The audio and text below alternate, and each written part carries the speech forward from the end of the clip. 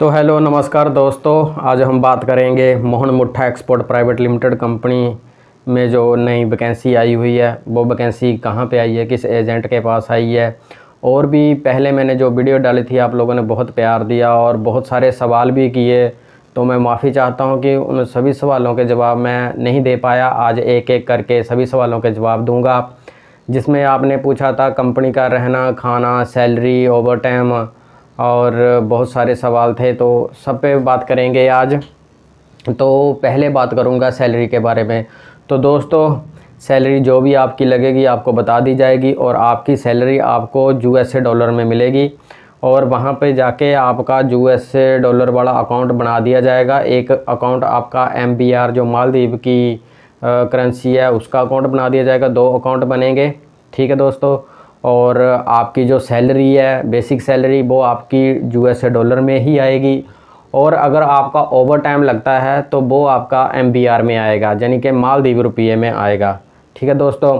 और दूसरा over time के बारे में एक और ज़रूरी बात बता दूँ कि जो मेरे दोस्त रिटर्न हैं, जैसे कतर, ओमान, इन सब में से तो कतर, ओमान में क्या होता था कि ओवर टाइम हमें मिलता था, हमारी सैलरी का डेढ़ गुना जस हवा मगर जहाँ पे दोस्तों ऐसा कुछ भी नहीं है, वहाँ पे आपको सैलरी के अकॉर्डिंग ही ओवर टाइम दिया जाएगा, वो भी कंपनी के किसी अपने ला के तहत।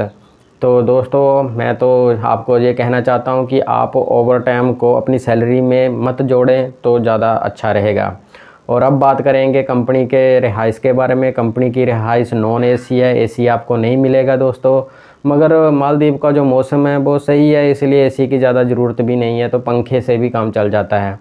तो फिर अभी बात करेंगे खाने की। खाना आपको नॉन वेज नहीं मिलेगा प्योर वेजिटेरियन खाना मिलेगा, मगर खाना घर के जैसा अच्छा होता है तो खाने का भी कोई ज़्यादा दिक्कत नहीं है।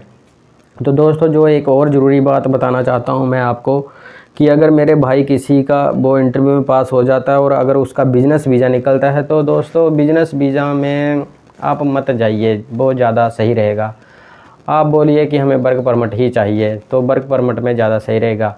और आप किस दफ्तर से जाएँ?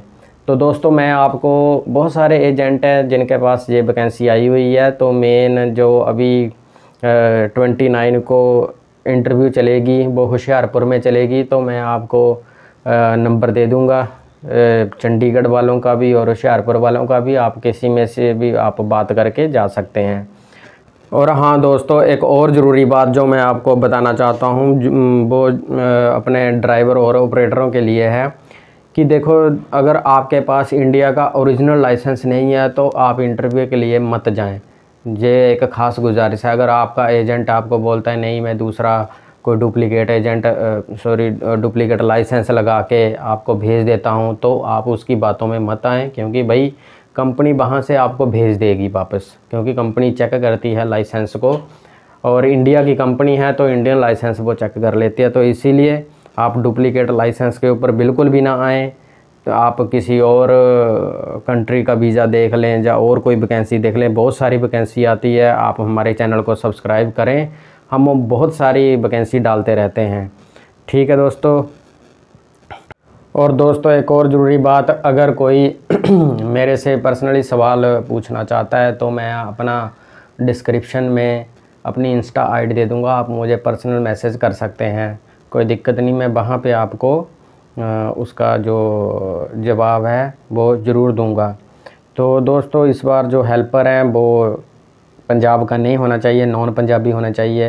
हेल्पर का ये है। और बाकी आपके सामने कटिंग लगा रखी है। आप चेक कर लीजिए। और आप एक ज़रूरी बात एक और बताना चाहता हूँ कि आप देखो, आप ओवर टाइम को अपनी सैलरी में मत जोड़ना। ये मेरी एक ख़ास गुजारिश है। आपकी जो सैलरी लग रही है, जहाँ से बेसिक सैलरी आप उसी को देखकर ही अगर आपको सही लगता है कि इतने पैसे मेरे बन रहे हैं तो ही आप जाइए। नहीं तो आप कोई और और कोई वैकेंसी देख लिए और कहीं और चले जाइए। तो वहाँ पे जाके परेशान होने से अच्छा है। आप जहीं से आप अपने आप को सही बैठा कर आप फिर जाएँ। तो मिलते हैं दोस्तों, फिर और किसी वीडियो में। अगर कोई सवाल आपका रह गया हो तो आप मेरे को कमेंट करें। नहीं तो मेरी इंस्टा आईडी पे आप मुझे मैसेज करें। तो नंबर मैं आपको दे दूँगा, आप डिस्क्रिप्शन चेक करो, नंबर डिस्क्रिप्शन में दिया हुआ है, आप चेक करके उनसे बात कर सकते हैं। तो मिलते हैं किसी और वीडियो में, तब तक के लिए जय हिंद, जय भारत।